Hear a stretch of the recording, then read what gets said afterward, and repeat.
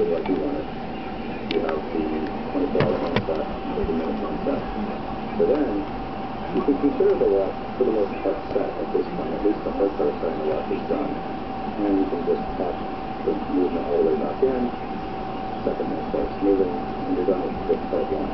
The next thing you have to do is you have to set the standard um, hour and you have to set the gauge. So to do that, you it up to the second position, pull it down to the second position. Nice about that is that the move. So you can set your watch ahead use the watch behind them, and you're not actually the time up, you're not any time. So, what I'm going to do is go ahead and start the uh, hour hand. That just the hour hand and it is just moving. Okay, so just move to the first, and if I move to back, it'll go back to the 31st.